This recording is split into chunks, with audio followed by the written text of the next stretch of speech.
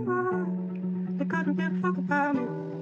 It's fire. Do I want to die or ever be a sacrifice? I want to make sure that my life made at least five million kids happy. happy.